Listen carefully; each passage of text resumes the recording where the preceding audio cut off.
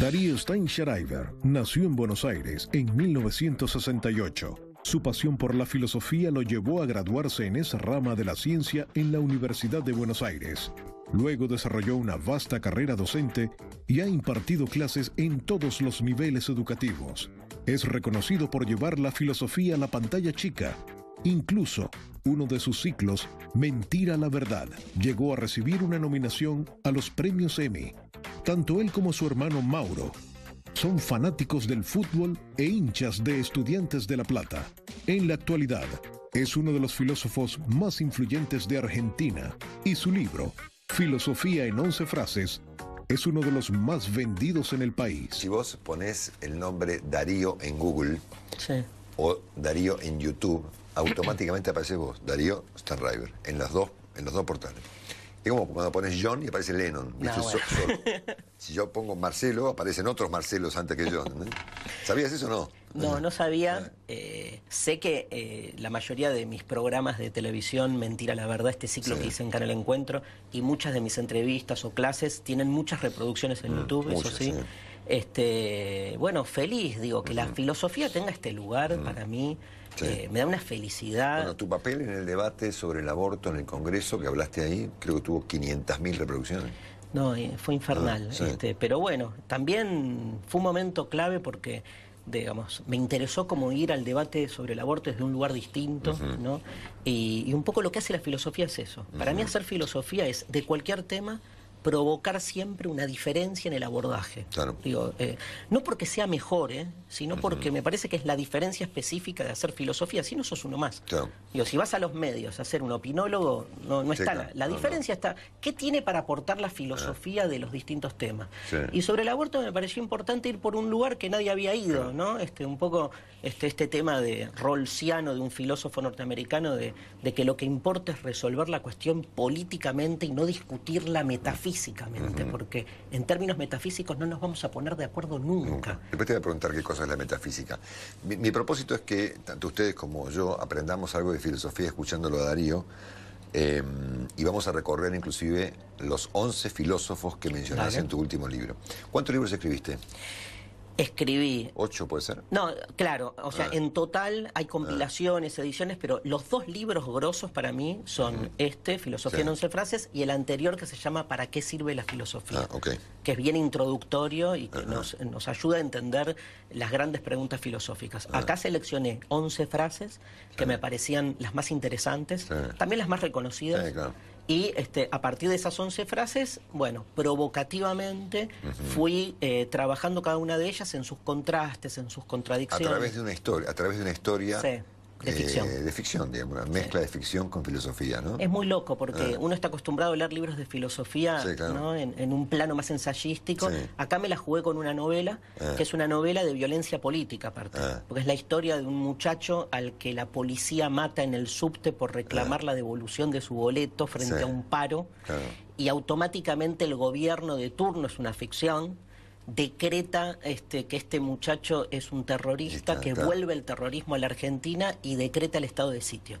El libro cuenta algo así como cómo sería el próximo golpe de Estado en la Argentina, esperemos que no, este, pero eh, se inventa toda esa ficción y eso me permite agarrar cada una de las frases. No, claro, el obviamente. hombre es el lobo del hombre, donde hay poder hay resistencia, Claro. eh, Dios ha muerto, y Sí, la claro. voy jugando con la historia de ficción que me Sí. sirve porque este, los contenidos de la historia de ficción me sirven para que la filosofía se encarne en cuestiones cotidianas Sí. concretas. Vamos ¿no? a repasarla, vamos a repasar los- Dale. la- las 11 frases y los 11 filósofos en, Dale. en un ratito más. Te escuché decir una cosa bastante genial eh, de parte de un filósofo, para aquellos que nos interesa la filosofía, pero tenemos dificultades para abordarla, obviamente, por problemas de tiempo, problemas de cultura, por, por lo que sea. Te escuché recomendar leer manuales. Sí. Sos un tipo práctico, ¿no? Sí. Sí, sí. Y soy bilardista. Ah, Imagínate, claro, que digamos, el pragmatismo por sobre todas las cosas.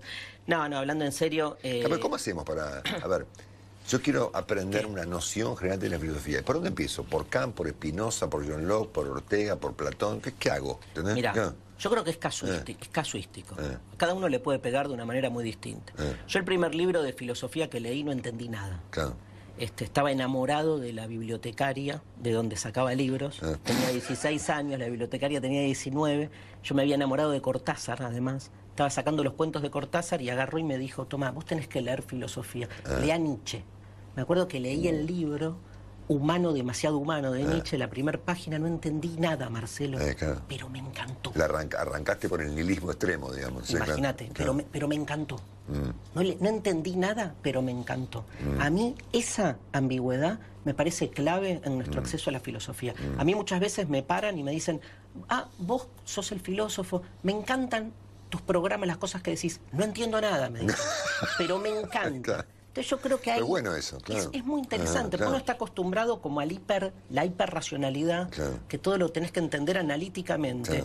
Pero a ver, para mí la filosofía está más cerca del arte Mm. que de la Que de la ciencia. ciencia, claro. Claro. Capo, ¿y ¿qué es la filosofía si tuvieras que definirla? Uf, el primer gran problema de la filosofía es definirse a sí misma, Ah. Claro. ¿no? Digo, es, es- Claro. es clave. Pero yo creo que es un ejercicio de cuestionamiento, Mm. de, un ejercicio de la pregunta. Y una pregunta que lo que busca no es tanto encontrar respuestas, sino cuestionar las respuestas establecidas. Cuando la filosofía se hace preguntas, Claro. no lo hace tanto para encontrar utilitariamente una respuesta, sino para que las respuestas que funcionan en el sentido común empiecen a tambalear. Ca- Académicamente uno diría que la filosofía es la disciplina o la ciencia o lo que sea que buscan las causas y las consecuencias de las cosas. O de por lo menos de todas las las cosas. primeras. Las- Claro, las primeras causas, o sea, los fundamentos de la estructura de lo real. Sí. El problema es que lo encuentra. ¿Y sabes lo que encuentra? Que no lo hay. No, que no hay fundamento. Claro. O sea, la filosofía busca el fondo de las cosas. ¿Y sabes lo que encuentra? Que en el fondo, claro, no hay fondo, nada.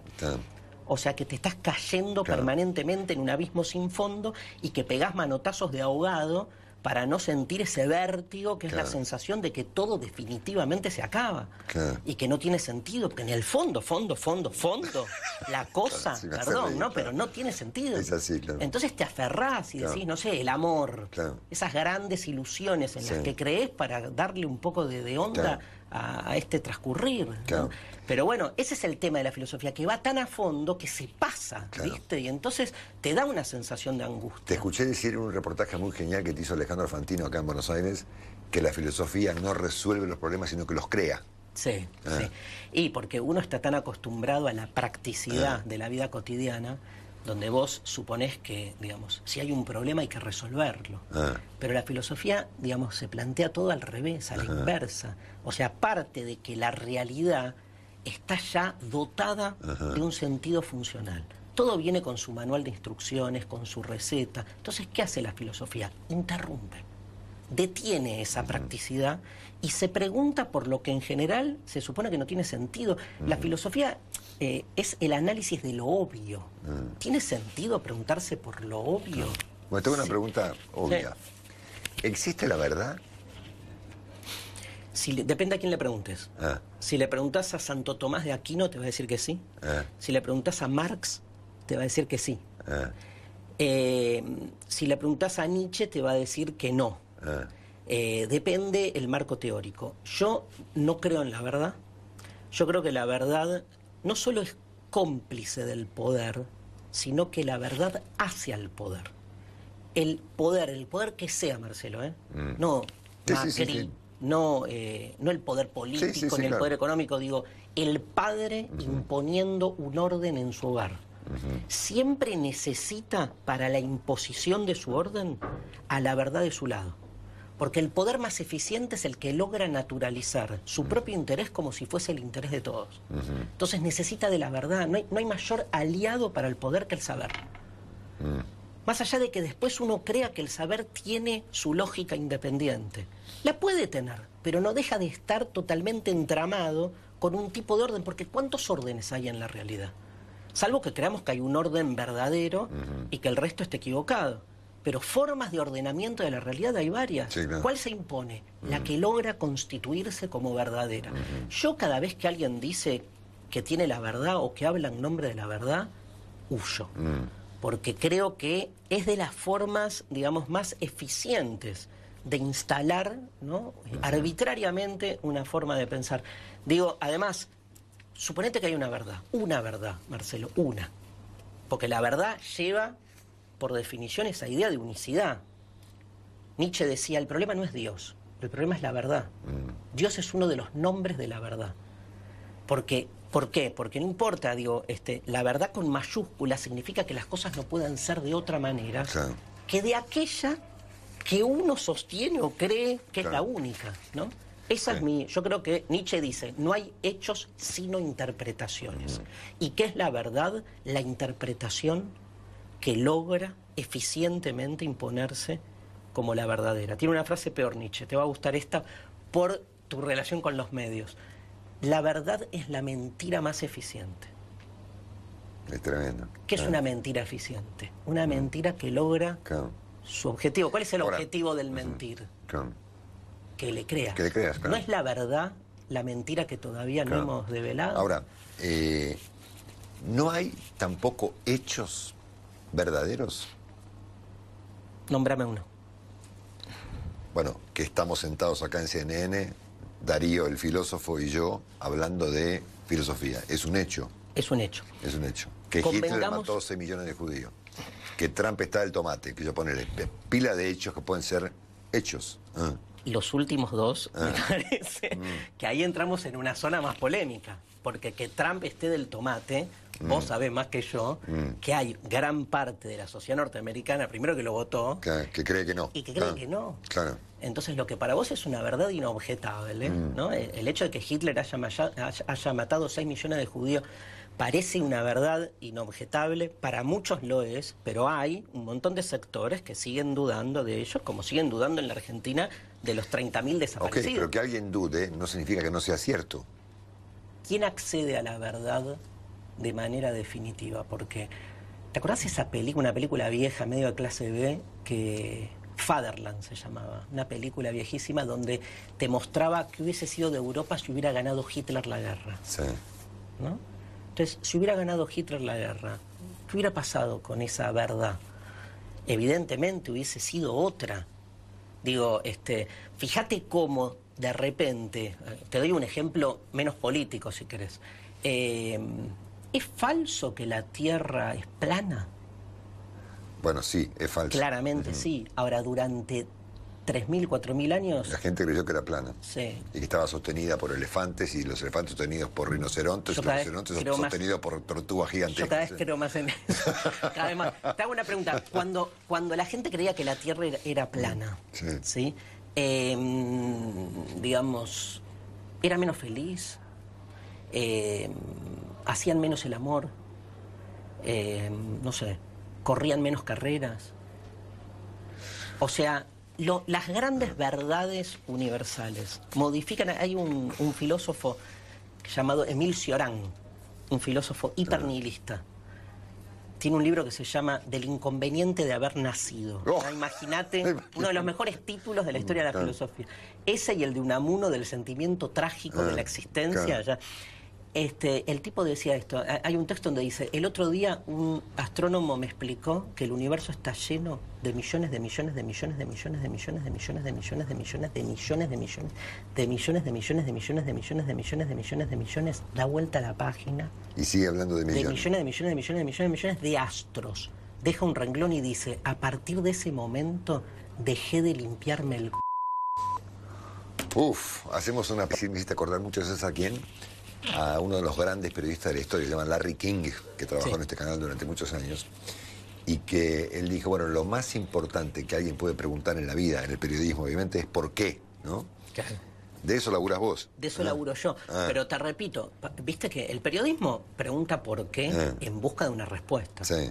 La filosofía pregunta por qué para resquebrajar las respuestas Claro. instituidas como sentido común. Es otra lógica. Sí. Fíjate que la, la- ¿Cuál es la pregunta de la filosofía? Vos, vos recién te hiciste una eh, hablando de la verdad. Digo, ¿por qué? ¿Por, qué? qué así? Claro, ¿Por qué? Claro. ¿Por qué así? Mm. ¿Por qué así? Diálogo, palabras, Sí. escucharnos, oreja, Ah. cuerpo. Ah. ¿por qué? No, ¿Por claro. qué? No, bueno, viene la biología, la física, Sí, te sí, explica, claro. y vos decís, sí, ya sé, pero Sí. la pregunta existencial, ¿por qué ¿por qué? así? Claro, exactamente, Pudo claro. haber sido, todo pudo haber sido distinto, el cuerpo, el espacio, el tiempo, pero fue así, ¿por qué? No tiene respuesta, pero ¿qué logras preguntándote por qué? Como relajar un poco. Claro, obviamente. Y bueno, sí. contame una cosa. ¿La filosofía empieza con los griegos? la filosofía occidental empieza con los griegos. Empieza con los griegos. Ponele unos 500 años antes de Cristo. Sí, 600 años antes de Cristo. sí. Correcto. Hay un primer filósofo, de hecho. En los manuales aparece un primer filósofo. Antes de Sócrates. Sí, ah. que es Tales de Mileto. Ah, ok. ¿Eh? Hay, una eh, para ustedes es oficialmente el primer filósofo. Sí, y ah. hay una fecha oficial que es el 26 de mayo del 585 a.C. Ah, okay. Cuando empieza la filosofía. ¿Sabes por ah. qué? Porque Tales parece que predijo un eclipse. Ah, y se sabe astronómicamente que el eclipse ocurrió ese día, por eso se elige ese día como día te voy a reventar, eso es verdad, lo que me estás diciendo. No, es una interpretación, imagínate. Es una, si algo es una interpretación, vos sabés que de todos los filósofos anteriores a Platón no hay casi registro no escrito. claro, obviamente. O sea que imagínate lo que estamos interpretando de la interpretación para eso, y le crees. O sea, ¿por qué Tales es el primer filósofo? Porque dijo Aristóteles que lo fue. A ver, yo te podría decir que Hesíodo, que es un poeta, mitólogo, es filósofo. Y sin embargo, el canon filosófico no lo acepta como tal, porque el tipo escribía mitos. Ah, Entonces todo depende. El pasado siempre es una proyección del presente ah. en función de la propia necesidad de lo que somos hoy. Sí, ok. ¿No? Bueno, en cualquier caso, este hombre es el primer filósofo. sí, es el primero. Cien años después aparecen los, el trío, digamos, famoso, Sócrates. El, spa. ¿Sabes que se le dice el spa? ¿Por qué? Sócrates, Platón, Aristóteles. Exactamente. me voy al spa. ¿no? Que son que son, digamos, uno seguidito del otro. Los clásicos. Y que de hecho Aristóteles es el resultado de Platón y Platón de Sócrates. Sí, es ¿Eh? fuerte el resultado. Son bueno, lo estoy resumiendo, claro, discípulos. De hecho, Aristóteles se pelea. Sabes que Platón tenía su, su, espacio de estudio que se llamaba la Academia. Sí este, en honor al dios Academos, que era un gimnasio que había él este, alquilado, Aristóteles se pelea y de lo, o sea, cruza la vereda y funda el liceo, ¿no? Que es, este, entonces, en ese momento ir a las escuelas filosóficas no era como hoy que vas a la escuela y estudias un poco de todo. Una escuela de la representación de una ideología. Es como en el fútbol la escuela bilardista, es una escuela. Ahí era, entonces vos ibas a la escuela de Platón y estudiabas una forma. Vos sabés que hay un famoso cuadro de Rafael que se llama La Escuela de Atenas, que es genial porque pictóricamente representa mejor que nadie esas dos formas de pensar la realidad. Eh, Whitehead, este, coetáneo de Bertrand Russell, que yo sé que a vos te gusta, decía que toda la filosofía no era más que una nota a pie de página de la polémica entre Platón y Aristóteles. Y Rafael en ese cuadro los pinta así, lo ponen, lo pone a los dos. Eh, la escuela de Atenas es un cuadro que están todos los filósofos de la antigüedad como en un panteón y vos vas viendo porque pinta cada uno representando corporalmente su forma de pensar. En el medio están Platón y Aristóteles discutiendo. Platón está con el dedo haciendo así. Tipo, la verdad está allá, no acá, en otro mundo. Y Aristóteles lo mira desafiante y le dice, no, mira. ¿Hay algo ah. más? ¿O es solo esto? Claro. Digo, ¿estamos discutiendo alguna otra cosa? Contame de Sócrates. Sócrates tuvo aquella famosa frase, eh, solo, sé, que, no, sé, nada. Yo la interpreto como, por ahí me equivoco, obviamente, yo no sé nada de todo esto, como el principio de la evolución del conocimiento, si es que existe un conocimiento, ¿no es cierto? Porque obviamente al aceptar que no sabe nada, e, eventualmente puede hacerlo, ¿no es cierto? Sí. ¿Interpreto bien? ¿Interpretas bárbaro? Ah, genial. Eh, lo más interesante de la frase... Ah, no, lo más ah, eh, Además... No soy tan bruto. No, no, escúchame. Lo más interesante de la ah. frase es que es una paradoja. Ah.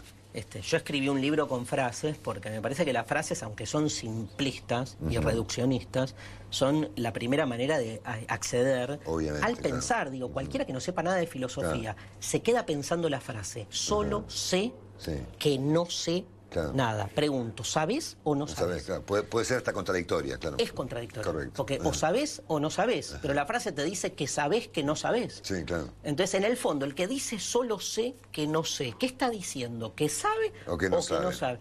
Y queda como en la nebulosa. Ahora, lo, lo lindo de esto, yo acuerdo con vos, Sócrates la plantea para decir, los seres humanos en el fondo no sabemos nada porque estamos todo el tiempo preguntándonos siempre por lo nuevo. Ahora, vuelvo al tema de siempre. Es una frase muy política. Porque, ¿sabes por qué la dice Sócrates? Porque lo condenan a él a muerte y lo acusan de corromper a la juventud, de enseñar falsedades, y él en su defensa dice, perdón, todos acá los que me están acusando, la justicia de la época, se creen los grandes poseedores y monopolistas de la verdad. Todos se creen que saben. Yo los desafío, les pregunto y, y les demuestro que ninguno en el fondo sabe nada. En cambio, yo nunca digo lo sé todo, sino que asumo mi propia ignorancia y por eso estoy siempre abierto a seguir preguntándome. Claro.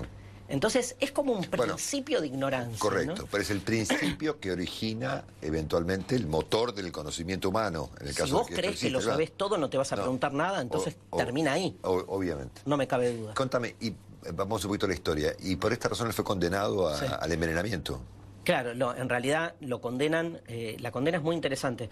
A él lo acusan, él era un molesto, se peleaba con el poder ateniense de la época, les metía el dedo ah. donde no debía a todo ese poder democrático, era muy crítico de la democracia.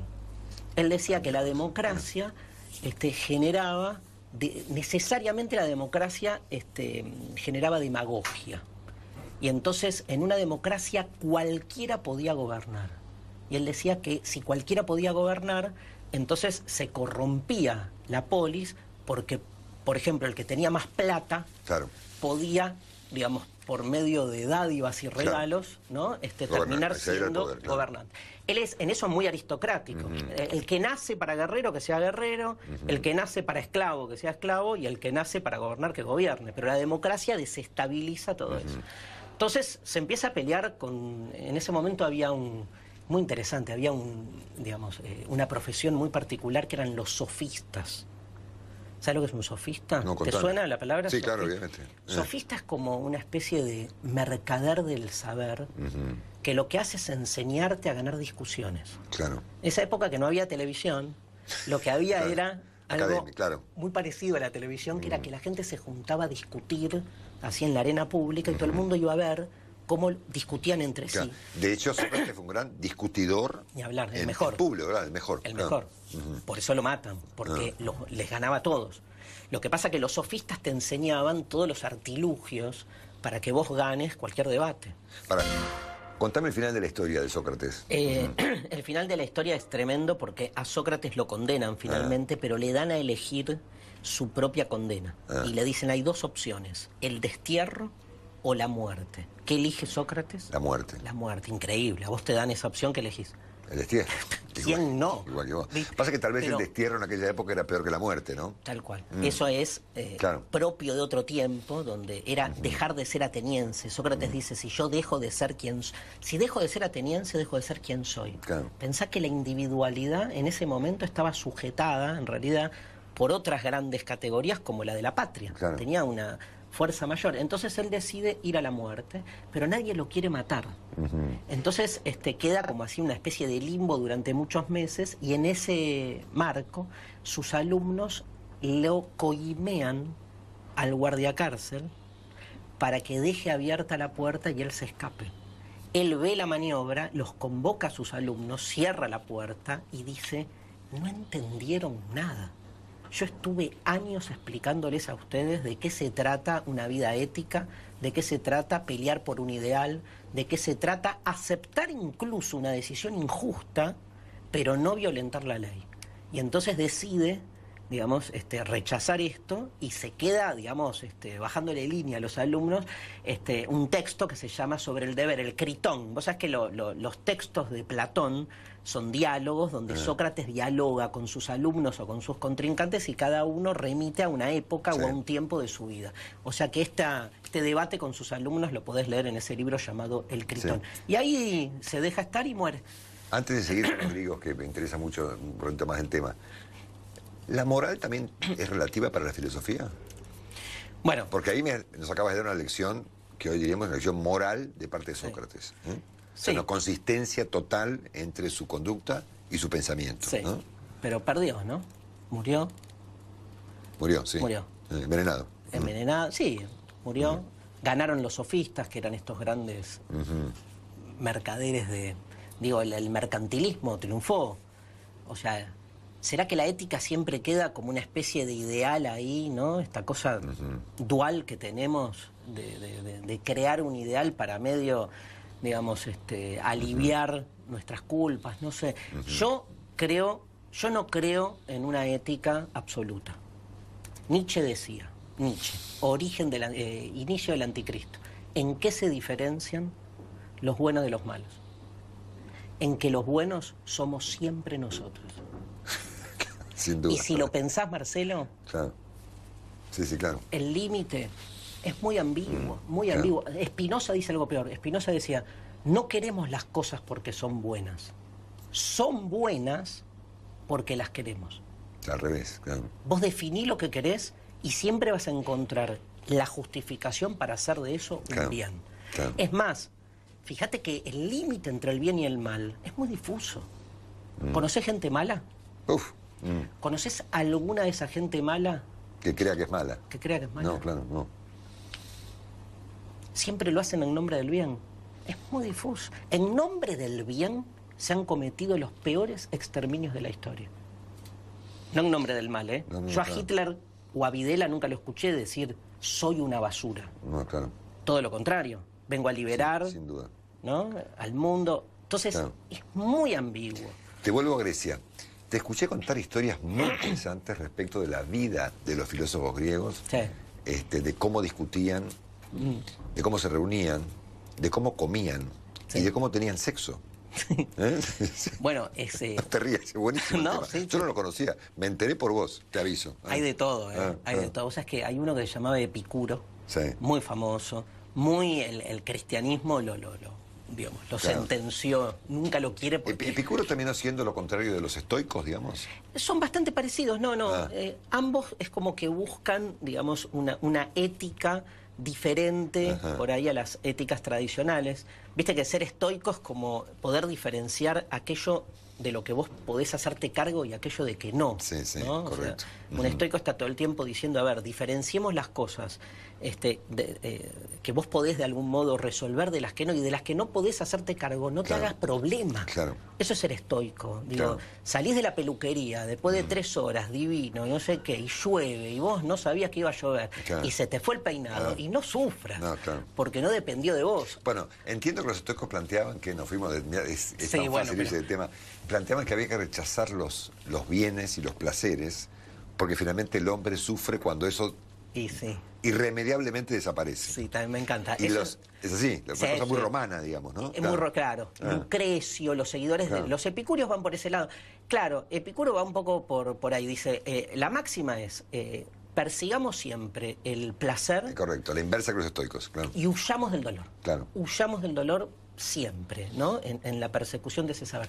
Y entonces, bueno, fue un tipo muy particular, porque... Epicuro. Epicuro. Ah. Poner al placer como, digamos, fundamento de la moral es todo lo contrario. Viste que las éticas que nosotros conocemos, sobre todo la ética cristiana, es una ética que hace el placer algo negativo, ¿no? Epicuro al revés. Igual el placer epicurio es el placer de, que, de no padecer.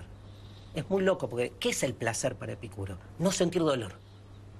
Y por eso encuentra placer no en las grandes cosas, así, la lujuria, sino en las cosas chiquitas. Sí. Es recuperemos el placer por la existencia. Claro. Qué difícil, ¿no? Sí, sí, claro. Bueno, y hay... No, hay, no suframos tanto, claro. Hay, hay un dato eh, muy anecdótico, hermoso, que es que parece que Epicuro decía que para poder participar en una clase de filosofía, uno tenía que estar concentrado.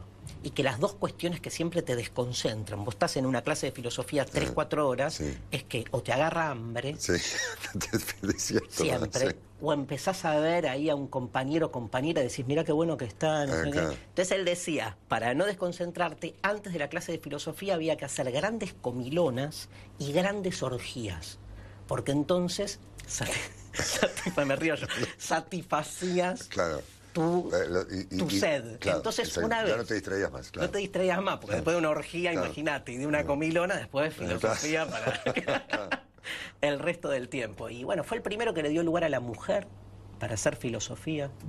No es poco, ¿eh? Sí, sí, claro. Este, el mundo griego no es un mundo homogéneo. No es que hubieron dos, tres Hubo de todo, hubo momentos, no es lo mismo Esparta que Atenas, No, por claro. ejemplo. Al interior de Atenas hay una época donde, digamos, la vida del ciudadano era una vida muy patriarcal, eran solo los varones los ciudadanos libres. Muchas veces en los manuales de teoría política este, aparecen esas eh, invocaciones a la democracia griega como la democracia más directa, más libre, y participaban solo el 12% de los ciudadanos. Porque la mujer no era considerada, no una ciudadana libre, no era considerada ni siquiera un ser humano. Aristóteles define a la mujer como un macho no realizado. Esa es la definición de mujer. En un libro que sabes cómo se llama, Historia de los animales. Ahí define a la mujer, porque en el libro sobre el alma, donde define al ser humano, habla del varón. O sea, pensá que venimos de ahí. Ajá. Eh, Occidente es la mezcla de todas esas tradiciones, lo judeo-cristiano por un lado y lo greco-romano por el otro. Te doy un caso del derecho romano, que en estos tiempos, en esta época de discusión sobre el aborto se soslayó mucho. Hubo una época que el derecho romano posibilitaba, le daba el derecho al, al varón, al dueño de casa, a disponer durante 10 días si el hijo que tenía lo consideraba útil o no para su vida productiva. Si lo consideraba inútil, lo arrojaba al- a la basura. Wow. Digo, venimos de ahí, ¿eh? Ah. Eso nos olvidamos. No, claro. Siempre hacemos de nuestro presente un presente absoluto. y eso está haciendo síntoma, diríamos. Ahora te voy a preguntar por qué razón después del corte eh, Aristóteles eh, está considerado como el filósofo más importante de la historia, que saber si vos coincidís con esa definición. Aristóteles no era griego, era de Macedonia, creo. Era ¿no? de Macedonia, que era Ah. como una provincia, digamos así, periférica. Periférica, ¿no? Como correcto. si hoy viniera, no sé, de Jujuy. Claro, ok, correcto. Entonces no lo querían. Ah, no lo querían por eso. Ah, Estamos hablando de 350 años antes de Cristo. Sí, más o menos. ¿Ha sido el pensador más influyente de la historia? Fue muy influyente sobre todo porque el cristianismo lo recibe y lo toma para sí. El Claro. cristianismo tuvo dos etapas, una etapa agustiniana Claro. y una etapa to- tomista. tomista, claro, claro. eh, o sea, El Tomás de Aquino, claro. Tomás de Aquino que toma Aristóteles. Entonces, este Agustín toma Platón y Tomás toma Aristóteles, pero el que queda después finalmente como el filósofo escolástico oficial es Aristóteles. Correcto. Hay una famosa definición de él, muy cuestionada después por mi filósofo favorito, que es Bertrand Russell, Sí. cuando Aristóteles dice, si es que lo dijo, que para explicar la existencia de Dios, que todo motor es movido por otro, Sí, excepto el primer motor. sí, Frase tan contradictoria como todas las frases de la filosofía, ¿no es cierto? Porque si todo motor es movido por otro, ¿por qué el primero no es movido por otro? ¿Eh? En realidad, Eh. porque lo que plantea ahí Aristóteles es que tiene que haber, en realidad es una hipótesis, que es que tiene que haber un motor que mueva, pero que no sea movido. ¿Eh? Porque si todo, es como, si todo viene de algo y todo existe porque algo lo creó, tiene que haber una primera causa de todo que crea todo, pero que no es en sí mismo creada. ¿Por qué? Porque le tenían horror al infinito. Ah. Es al revés. Digo, Ah. no, no hay ninguna argumentación lógica Claro. que demuestre que algo digamos, este, no puede ser infinitamente creado. Digo, todas las demostraciones de la existencia de Dios pasan por ahí. Claro. O sea, este, Dios existe para todos porque tiene que haber como un tapón, como Porque un... tiene que haber. Porque tiene que haber. Ah, correcto. Escúchame. Ujú. Te propongo, eh, eh, es horrible porque la verdad que me gustaría hablar con vos cinco horas, pero tenemos poco tiempo. Me gustaría repasar rápidamente los filósofos y las frases Dale. que tomás en tu En libro. libro. Recordamos que el libro se llama Filosofía de 11 frases. Es una novela filosófica alucinante, inclasificable, como dijimos, y este incluye, empezamos con Heráclito. Sí. ¿eh? Nadie puede bañarse dos veces en el mismo río. Heráclito era de Éfeso, ¿no? Sí, sí, y eh, la, la frase es, Eh. en el fondo, ¿todo cambia o algo permanece? Mm. Y es muy interesante el planteo, sobre todo cuando lo pensamos en relación Claro. a lo que sea, a, la- a- Claro. a nosotros mismos, a los Claro. afectos, a lo que a lo que a lo que fuera. Yo soy más partidario de que todo cambia todo el tiempo. Vamos a saltear a Sócrates, que ya hablamos mucho. Dale. Ahí está San Agustín, ¿no? Sí. Y la frase que elegiste... Tremenda frase. Tremenda. Tremenda. De San Agustín, ¿no es cierto? ¿Eh? Pero vos sabés por qué la dijo. La frase es ama Sí. y haz lo que quieras. Que vos la podés interpretar como si hay amor, todo vale. Exactamente. Ahora, ¿todo vale qué significa? Que si hay amor, ¿podemos salirnos de la monogamia, por ejemplo? Porque claro. Ama, yo te amo. Ah. Entonces, está, nada, si vos querés después tener sexo con alguien, Claro. yo te amo igual. Ah, ama El amor, quieras, claro. ama y haz lo que quieras. exactamente. Es muy interesante. como- Decime, ¿San pero Agustín fue el máximo pensador del cristianismo? Sí, digamos, con, como te decía antes, Con con, Tomás Santo Aquino. Tomás, Ah, claro. son como Boca River. Ah, digamos, son como Platón y Aristóteles, pero Ah. los, los Platón y Aristóteles cristianos. Claro. Y eso, para el cristiano, marca como dos lecturas Ah. muy distintas. Sí, bueno, voy a saltar, voy a saltarme a Hobbes. ¿eh? El hombre es el lobo del hombre. ¿eh?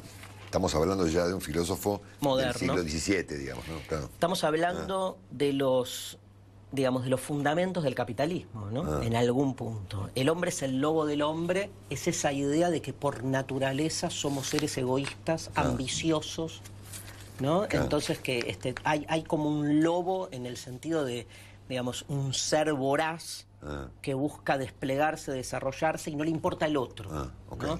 Es un lindo debate de teoría de filosofía política. Claro. ¿no? El hombre por naturaleza es bueno o malo. Eh, yo creo que en estos últimos años, digamos, se impuso la idea de que somos egoístas. Y somos entonces, egoístas, claro. y por eso necesitamos de la ley. La ley lo que viene es a restringir que Claro. ese egoísmo avasalle al otro. Claro, seguimos con una de las frases más famosas de la historia de la filosofía y tal vez más ambiguas. Y a veces tal vez eh, incomprensibles, ¿no? Que es de Descartes, ¿no? Sí. El famoso René Descartes francés. ¿no? Sí. Los franceses son complicados, tomame, ¿no? Sí, Bueno. sí, los amo igual. ¿eh? Eh, bueno, Sí, bueno, pienso, luego existo. ¿Qué quiere decir eso?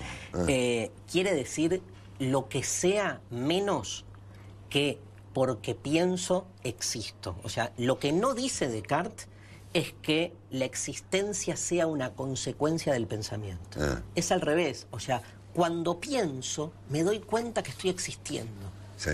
Pienso, me doy... O sea, vos ahora estás pensando. Sí. Y sos consciente de que estás pensando. Sí. Por lo tanto, existís.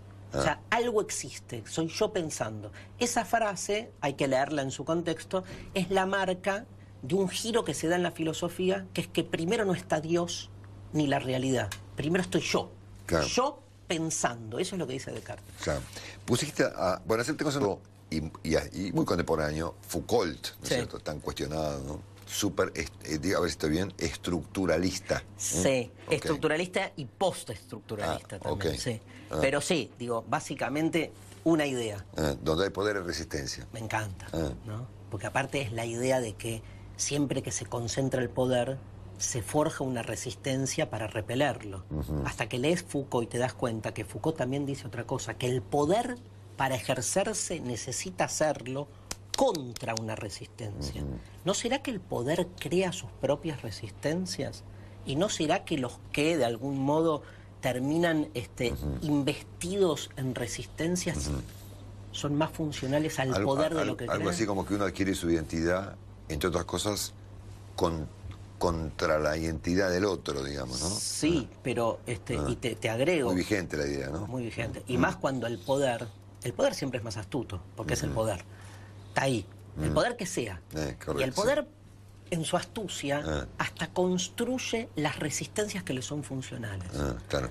Entonces, bueno, cambia el esquema, o sea, una resistencia al poder que sea, al padre, al, digamos, a, Mm. Sí, sí, a- al- a lo al que sea, gobierno, a la al policía, gobierno, sí, a lo que sea, tal cual. correcto. Este, siempre implica salirse incluso de lo que el poder espera que vos realices como resistencia posible. Decime, ¿Dios existe? Porque lo pusiste en tu, en tanto libro. ¿eh? Soy lo que soy, dijo Dios, según vos. ¿eh? ¿Eh? La segunda frase. Eh. Eh, no lo sé, no lo sé. Ah. Jamás afirmaría una verdad.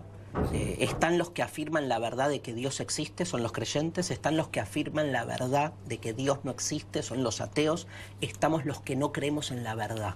Entonces no afirmaría. Yo jamás afirmaría algo con Claro. tanta contundencia. En lo que no creo es en el Dios de las religiones institucionales. Correcto. No me provocan confianza, no les creo. Ajá. Bueno, hemos llegado a Nietzsche, ¿eh? Sí. que ha dicho que Dios ha muerto. Sí, es un poco esta idea, Correcto. ¿no? Ah. Sí, sí, esta idea de que en realidad hay una idea de Dios Ajá. muy propia. Para Nietzsche Dios es una metáfora. Como todo es una metáfora. Nietzsche fue súper influyente, ¿no? Sí, sí. Eh, Vos sabés que Argentina es uno de los países, es el tercer país que más ha sido influido, que lee Nietzsche, después de Alemania e Italia.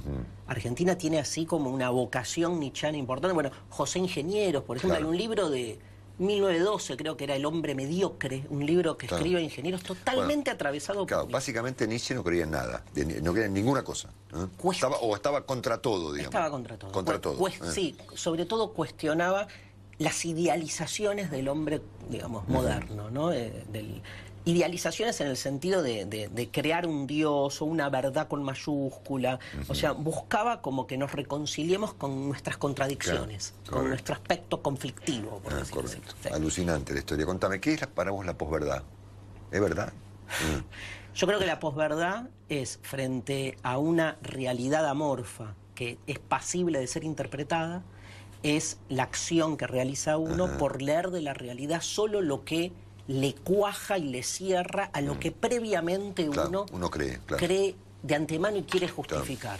Entonces siempre vas a encontrar en la realidad la data recortada que a vos te sirva, ¿no? Digamos, no sé, ¿el país está mejor o peor? Sí, claro. Pregunta, Eh. posverdad. El que quiere demostrar El que está, está en mejor, contra, claro, tenés mil datos que Sí, está en contra. Y el que quiere sostener que está mejor, va a encontrar Sí. siempre la data que esté funcional a lo que uno previamente quiera. Eso es la posverdad. Este, yo te agregaría que en la posverdad también hay como una conciencia de que uno ejerce esa operación, pero no le importa. Entonces es como, viste, siempre se da el ejemplo de, de las fotos, por ejemplo. Te voy a dar un ejemplo bien de coyuntura. La foto de, no sé, este, María Eugenia Vidal con el changuito Sí. en el supermercado. Todo el mundo sabe que es una puesta en escena, Ah. pero no les importa, porque lo que quieren es la representación de un político siendo humano. Exacto. Y vos decís, pero mirá, le están sacando la foto, Ah, ¿no ves claro. que está actuando? Bueno, pero actúa bien. Entonces, mirá cómo la política se volvió espectáculo. Claro. Que hasta lo que le buscamos a los políticos es que sean buenos Actores. actores. Sin duda. Vos sabés que nosotros tenemos una brevísima sección en la que el invitado anterior le deja una pregunta al invitado posterior y no tiene idea a quién le toca. Él no sabe. creer. Te puede- así que te toca una pregunta que yo no me acuerdo ni siquiera cuál es, que te dejó Diego Torres. Mira ¿eh? qué La tenés que responder, dale. Dale.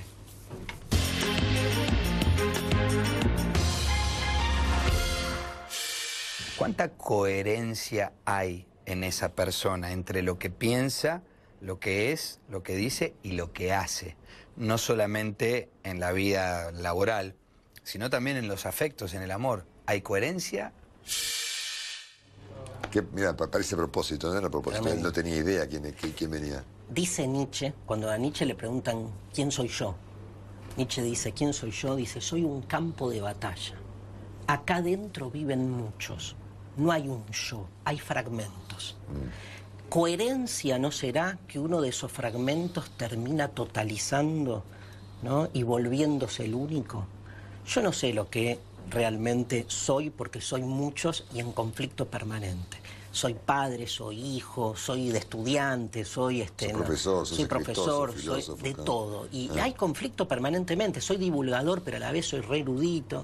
Entonces, este, yo creo que la coherencia nietzscheanamente te diría es como un ideal imposible ¿no? de, de- de sostener. Obviamente, no estoy con eso justificando que uno tiene Claro. que ser un trucho. Claro. Pero me parece que todo es mucho más ambiguo. O sea, yo estoy más con una filosofía de la ambigüedad en ese sentido, que me parece más humana en algún punto.